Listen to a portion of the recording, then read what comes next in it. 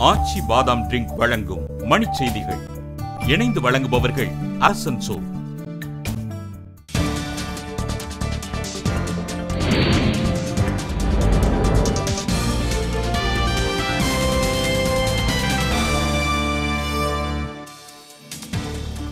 நாடாளுமன்றம் தடையின்றி செயல்பட சட்ட திருத்தம் தேவை என குடியரசுத் தலைவர் பிரணாப் முகர்ஜி கருத்து.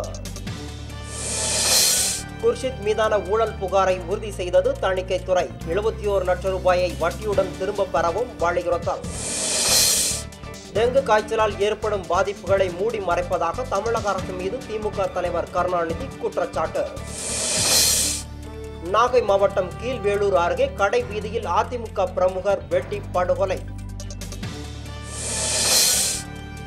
வேலூர் மாவட்டம் காட்பாடி அருகே டெங்கு காய்ச்சலுக்கு மேலும் ஒருவர் உயிரிழப்பு. தொடர் மின்வெட்டால் மதுரையில் உள்ள நூற்றி ஐம்பதுக்கும் மேற்பட்ட அரிசி ஆலைகள் மூடும் நிலையில் உள்ளதாக தகவல். உத்தரப்பிரதேசத்தில் மூளை காய்ச்சலுக்கு மேலும் நான்கு பேர் உயிரிழப்பு. பலி எண்ணிக்கை நானூற்றி இருபத்தி ஒன்றாக உயர்வு. மின்வெட்டு விலைவாசி உயர்வை கண்டித்து கடலூர் மாவட்டத்தில் நாளை திமுக போராட்டம்.